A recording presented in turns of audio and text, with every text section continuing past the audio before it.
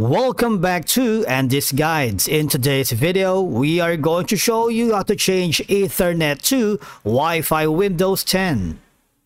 Let's begin. Now, there are several reasons why you might want to change from using Ethernet to Wi-Fi on a Windows 10 PC because Wi-Fi allows you to connect to the internet without having tethered to a specific location by a physical Ethernet cable. This mobility is especially useful for laptops and tablets, allowing you to move freely within the Wi-Fi coverage area. Say for example, I'm using Outlook right now and I'm outdoors, so I'm um, changing from Ethernet to Wi-Fi is a practical move, right? Because Wi-Fi enables me to access the internet in various locations where Ethernet connectivity may not be available for, you know, a lot of reasons. For example, when traveling or working in different rooms, like right now I'm on the veranda of my home, Wi-Fi provides convenient internet access because not only Wi-Fi allows you to connect multiple devices to the internet simultaneously, Ethernet typically requires a separate cable for each device. But the thing is, how do we change from Ethernet to Wi-Fi in Windows 10? Now, I need you to go to...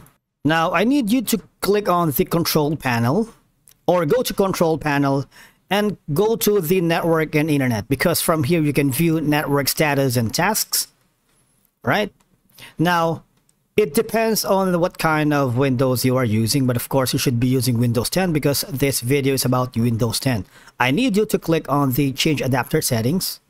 Now, I'm gonna click on the change adapter settings and as you can see there's gonna be a new pop-up window wherein we can see the Ethernet that I am currently connected to. Now, if you have a Wi-Fi here on Windows 10, you would be able to see the list here. Otherwise, if you don't have that means your computer doesn't have any Wi-Fi settings. But if you do have, please, all I have to do is just right click on it and connect. And for the Ethernet, this is the main priority since I have established a LAN cable. And if I wanted to disable from this Ethernet connection, all I have to do is click on the disable option. All right. And then from your Wi-Fi, all I have to do is right click and of course connect. It's a very straightforward process and it's very easy. Now after that, all you have to do is select the Wi-Fi network, turn on the Wi-Fi if it's currently off, and from there enter the Wi-Fi network's password. If it's secured, you'll be prompted to enter all the information and of course just click on connect. And once connected, you'll see a message that you are connected to the Wi-Fi. Now your Windows 10 PC is using the Wi-Fi network instead of the Ethernet connection. You can verify the connection by checking the network icon in the system tray. And of course, from there, you should now show the Wi-Fi icon with bars indicating signal strength. Thank you so much for watching. We will see you in the next video.